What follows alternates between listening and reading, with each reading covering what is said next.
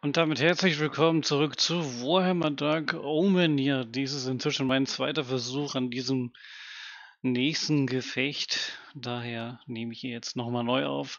Und was ihr jetzt aber nicht mitbekommen habt nach dem Hexenturm ist, wir sind ein bisschen weitergegangen und dann gab es einen neuen kurzen Dialog, den werde ich jetzt für euch wiederholen.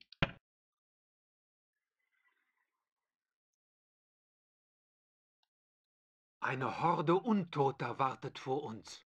Sturmangriff! Ja, und das war der ganze Dialog. Schön, ne?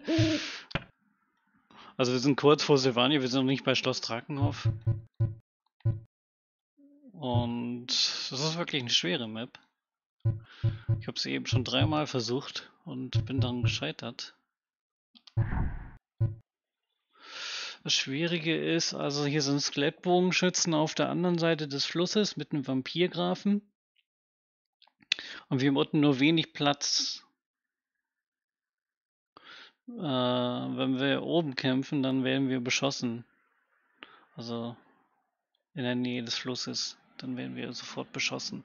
Ihr werdet das ja gleich sehen und jetzt bin ich halt dann überlegen, was ich noch mitnehme.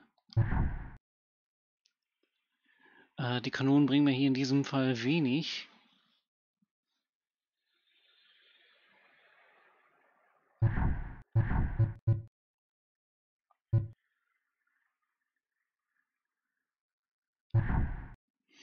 Ich bräuchte eigentlich mehr Infanterie, aber, jetzt kommt das Aber, unten ist leider wenig Platz. Da ist schwierig, die alle in den Kampf zu schicken. Aber wenn wir da dann erstmal durch sind mit dem wenig Platz, dann haben wir danach noch wenigstens was in Reserve, wenn wir jetzt ein bisschen mehr Infanterie mitnehmen. Ist zwar jetzt Micromanagement technisch nicht gerade das Beste, aber es geht jetzt auf dieser Map nicht anders. Es muss jetzt so gehen. Jetzt zeige ich sie euch gleich nochmal. So.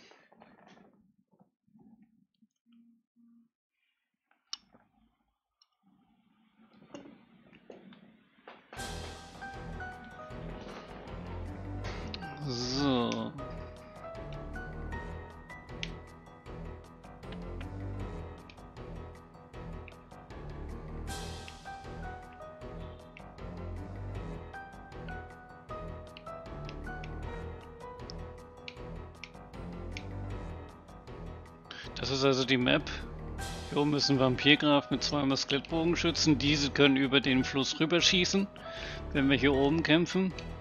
Ich habe auch schon versucht, hier Armbrustschützen hinzustellen und dann die gegnerischen Skelettbogenschützen zu beschießen, aber das klappt nicht. Erstens, weil das Zeug weg ist. Zweitens, weil die höher stehen als meine Armbrustschützen. Daher klappt das nicht und ich habe leider keine Bogenschützen. Hätte ich aber gerne. Aber wie gesagt, habe ich leider nicht. Und wir können von daher nur hier unten längs. Und hier unten kommen uns Gespenster und Gule entgegen, die leider auch Angst und Entsetzen verbreiten. Nee, dann nur eins davon, ne? Gule, die verbreiten glaube ich auch Entsetzen.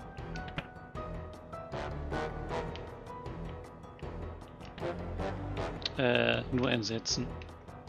Oder Angst? Ich weiß es jetzt nicht genau. Eins von beiden auf jeden Fall. Äh. So.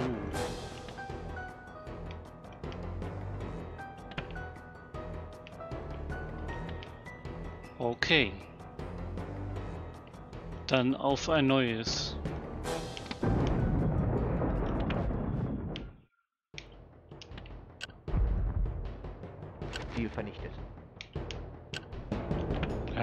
Warum die das immer sagen. Jawohl, Sir. Haben die einen getroffen? Nö. Ich weiß nicht, warum die das manchmal sagen. Äh, der Vampirgriff hat sich wegteleportiert, vielleicht deswegen. Jawohl, Sir. Keine Ahnung, warum die das jetzt immer sagen. Jawohl, Sir.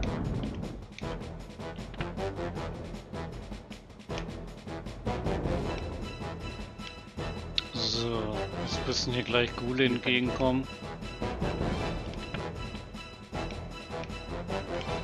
Sir. Jawohl, Sir.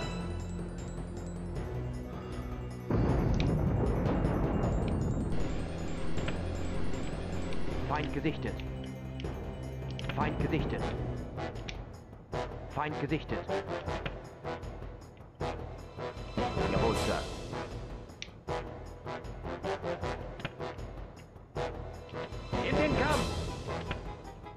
Und in den Kampf. Ja, das ist das, was ich meinte. Zum Angriff! Nervige Gulle. Wir fürchten den Feind! In den Kampf! Feind gesichtet.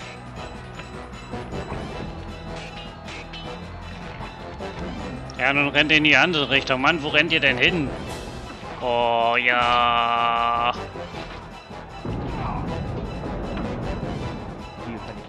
Genau, rennt genau in die Arme. In den Kampf! Hält uns! Zum Angriff! In den Kampf! Glaube ich jetzt nicht. Zum Angriff!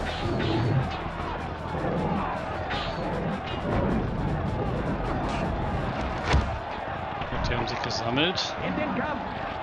Hält uns! Ziel vernichtet. Hält uns! Zum Angriff! Rückzug!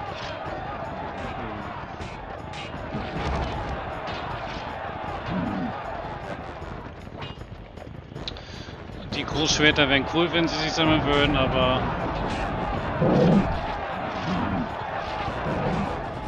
Die brauchen sie nicht unbedingt. Sammeln!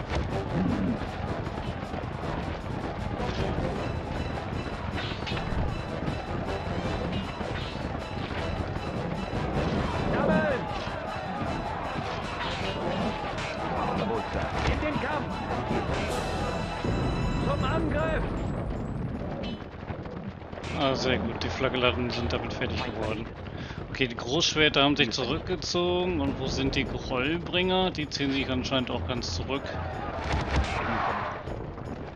Äh, wieso ziehen die sich denn jetzt zurück?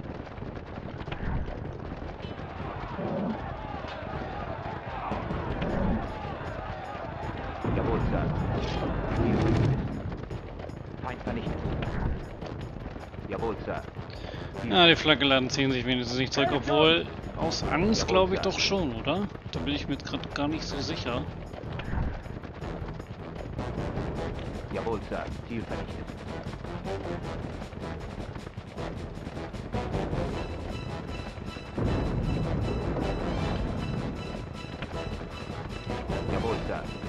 Wir müssten jetzt eigentlich mal ein bisschen mehr Schaden mit dem Feuermagier machen, weil ich weiß, dass hier oben noch welche kommen. Da sind auch nochmal Ghoul und Gespenster.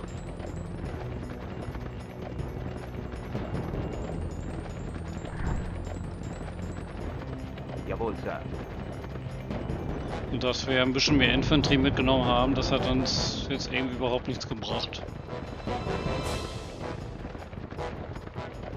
Feind gesichtet. Feind gesichtet. Noch mehr Gespenster.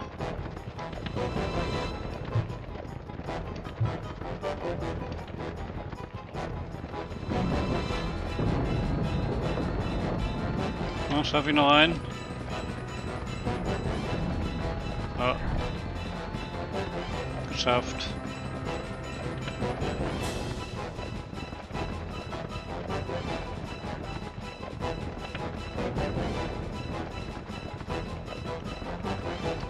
In den Kampf!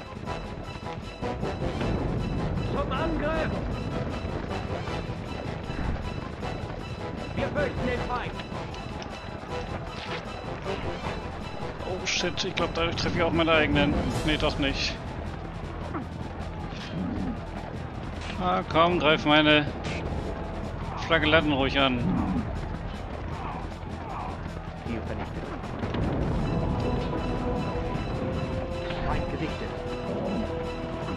Sir. In den Kampf! Zum Angriff! Und noch mehr Feuer.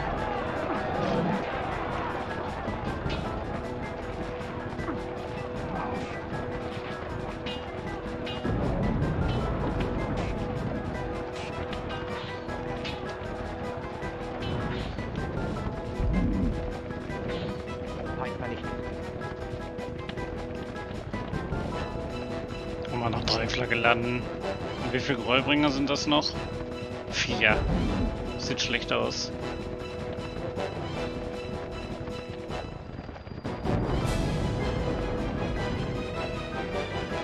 Jawohl, Sir. Wie gesagt, ich weiß eben, was noch hier oben kommt. Ich glaube, da war noch mal ein Regiment Gule.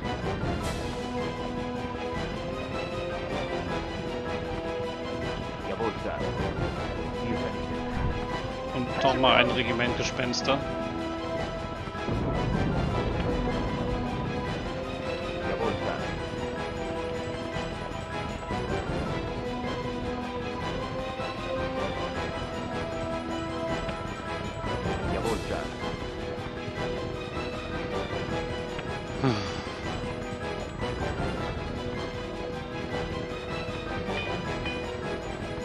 Wird schwierig.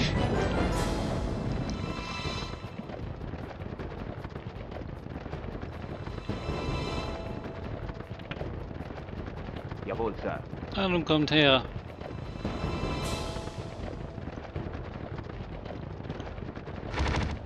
Ich weiß, dass ihr da seid. Jawohl, Sir. Jawohl, Sir. Oh, diese verdammten Bogenschützen. Großkanone down.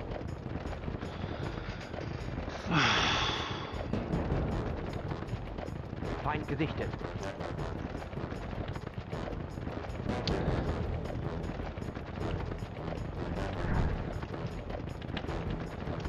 Gibt es nicht. Jetzt haben die Großkanone auch verloren.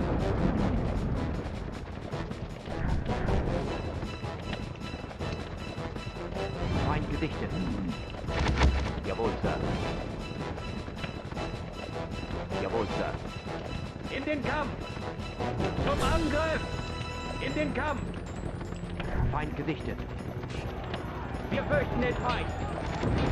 Zum Angriff! Sehr gut.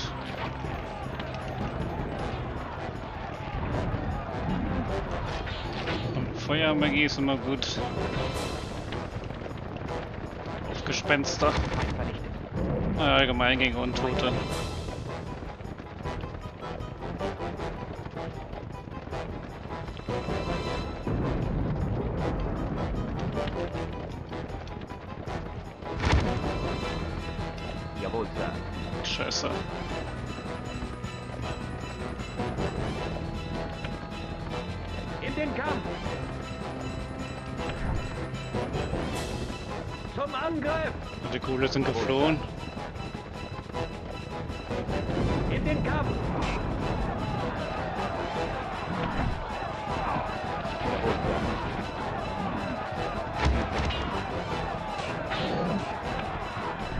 Die Quabringer haben zum Glück das Abwehrschild.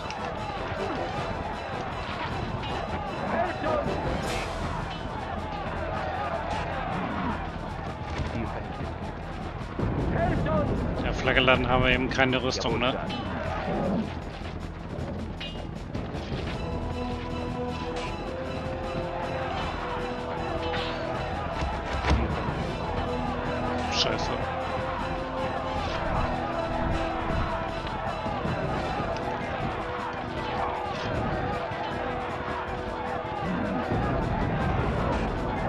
Vernichtet sie!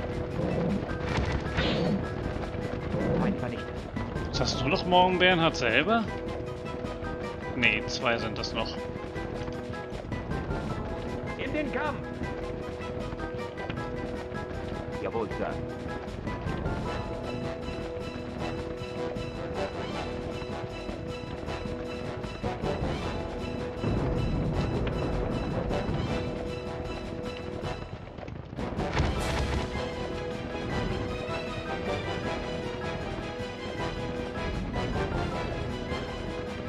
Hast du noch die beiden Bogenschützen und den Vampirgrafen, oder? Der ist geflohen, das kann auch sein.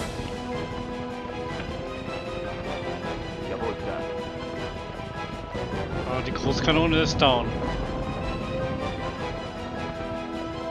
Aber wir haben ja noch die Gräubinger Kanone.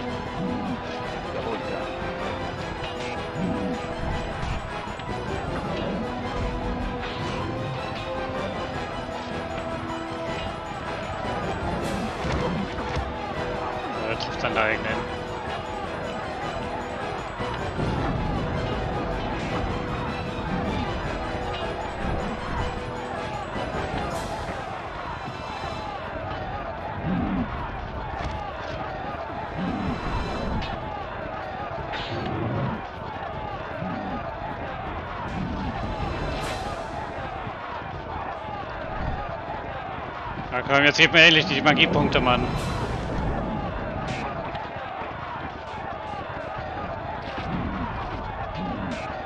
Oh, gibt es doch nicht.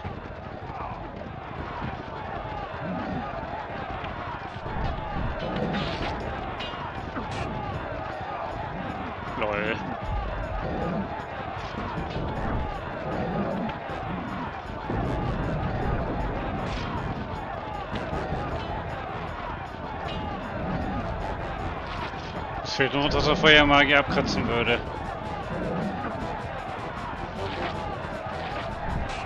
Ah, morgen Bernhard. Mach das hier. Zu zweit machen die das.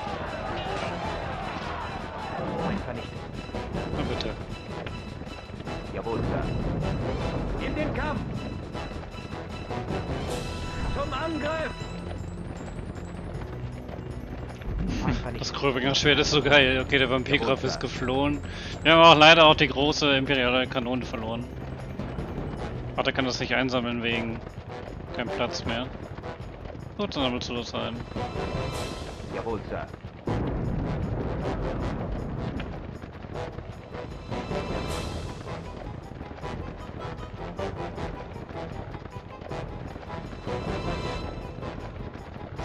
Konnte man nicht irgendwie auch diese Häuser angreifen?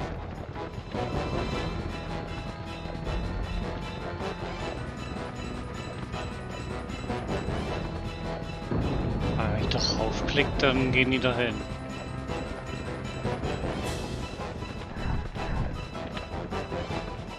Komisch. Beim ersten Teil konnte man immer noch Holz angreifen. Okay, jetzt eingesammelt. Was hat er denn da? Kann ich nicht sehen, irgendwas Passives. Irgendwas Passives hat er eingesammelt, genau wie das Schild. Ja, war ein schwieriges Gefecht.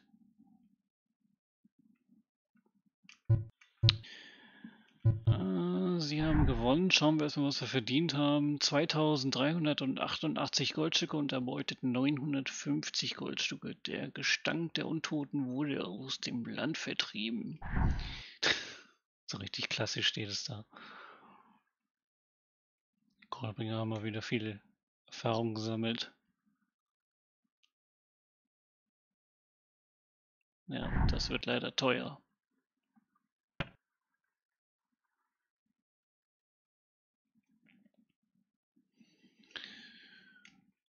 Aber ein schwieriges Gefecht. Ihr seid auch da, na endlich. Ich hatte eine Schlacht zu bestehen. Vielleicht solltest du auch einmal mitkämpfen. Hast du schon Schloss Karstein gefunden? Das Schloss ist verlassen. Leere Gänge, leere Räume, leere Hallen. Wo ist die Countess? Weshalb bist du so betroffen? Das ist eine persönliche Angelegenheit. Naja, ein Raum war nicht so ganz leer. Ich fand die Countess dort lebend und wohlbehalten. Hier ist sie. Hauptmann, irgendwie wusste ich, dass du kommen würdest. Ich hatte ihre Sicherheit mit meinem persönlichen Ehrenwort garantiert. Und ich versuche immer, mein Versprechen zu halten. Hier, dies ist das Geringste, was ich geben kann. Bitte nehmen Sie dieses Geschenk an. Das Herz der Trauer. Es besitzt Zauberkraft. Ein großzügiges Geschenk, Countess. Ich schulde Ihnen viel mehr. Es ist nicht der Rede wert. Klaus, sorge dafür, dass die Countess sicher sein kann und dass bestens um sie gesorgt wird. Allerbestens. Ich weiß, ich weiß. Es ist eine persönliche Angelegenheit. Matthias, hast du noch etwas von Wert im Schloss gefunden? Ich hatte doch gesagt, du sollst mich nicht. Naja, ich habe einen Eingang gefunden, der vielleicht unter dem Schloss hindurchführt. Sollte dies der Fall sein, schwöre ich Stein und Bein, dass Graf Karstein da unten ist. In den Gängen oder vielleicht in einer Gruft. Dann werden wir diese Gänge erkunden. Klaus, halte die Männer bereit. Wir müssen die Artillerie über der Erde lassen. Durch die Gänge passt sie nicht. Ansonsten, wir sind bereit und willens. Interessant, dass er weiß, wie breit die Gänge sind. Wir müssen erstmal unsere Verluste ausgleichen. Das wären dann 3540 für alle. Jetzt sind wir wieder bei 6000.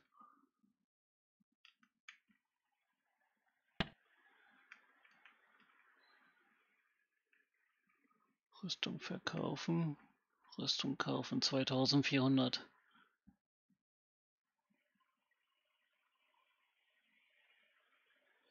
Hm. Ja. Ich weiß nicht, ob das ein Fehler ist, aber geben wir mal aus. Wir haben das Herz der Trauer bekommen.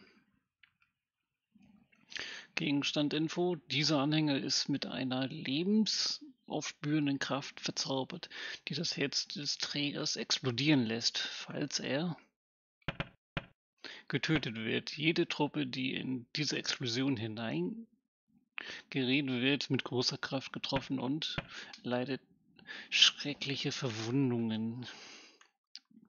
Also es ist quasi so ein Suizid-Item. Oh.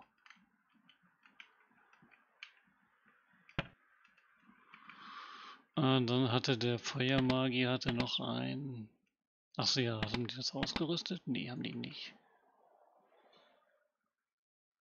Gut. Sollten sie nämlich auch nicht. Dann, ähm, der Feuermagier, was hat denn der? Stab von Jed. Mit diesem mächtigen Zauberstab wird die Energie der magischen Winde kanalisiert, die dem Träger zusätzliche magische Kraft verleihen. Jeder Zauberspruch im Repertoire des Trägers kostet einen Punkt. Weniger als er normalerweise kosten würde. Der Stab von Jed kann nur von Zauberern mitgeführt werden. Genau. Und den würde ich sagen, behält er mal.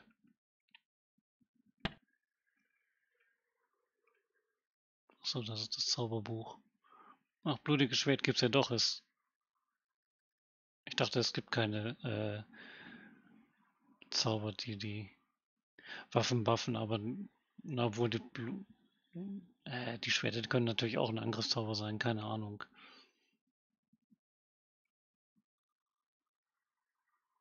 Purpurner Schwarm. Flammenflügel, die sind cool. Das ist quasi wie so ein Teleport. Okay.